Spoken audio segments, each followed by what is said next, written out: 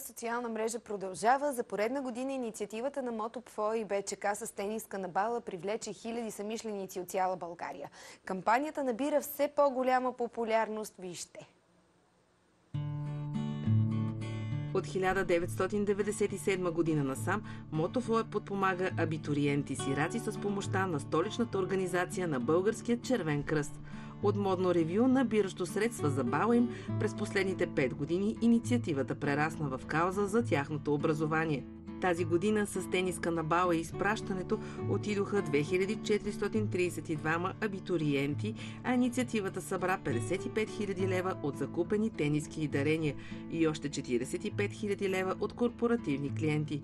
Всичките 50 сираци получиха по 2000 лева стипендии. Още 16 студенти пък взеха по 1000 лева стипендии за успех.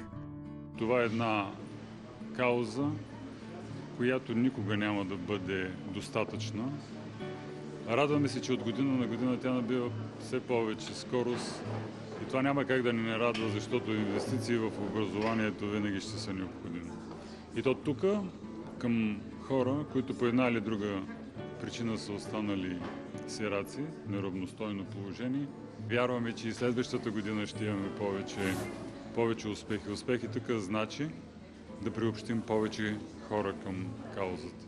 Повече хора да я препознаят към себе си. И използвам случая да се обърна и чрез вас към всички ваши е, колеги също. Да даваме повод да се говори за добри каузи, защото те правят обществото общество, а не просто група от хора. Мисля, че това е много хубава кампания и много ще помогне не само на мен, а и на другите а, за да може да се реализираме. А, искам да кандидатствам за един курс също така за веб дизайнер и също така тази стипендия ще ви помогне за да осъществя това. Аз по-удовлетворена не съм се чувствала никога, защото за първи път поемам инициатива, в която знам, че наистина ще помогна, с която знам, че мога да се гордея, че наистина мога да застана и да кажа аз направих това и помогнах на някой. И това в момента ме кара дори им чуш, че се разплача, защото наистина ме докосна, да, емоционално. И просто да се поставиш на място на друг и да видиш щастието в очите на твой връзник е просто неописуемо.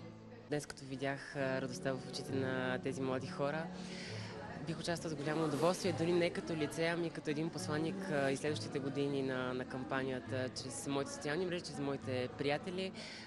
Наистина беше голямо удоволствие тази кампания.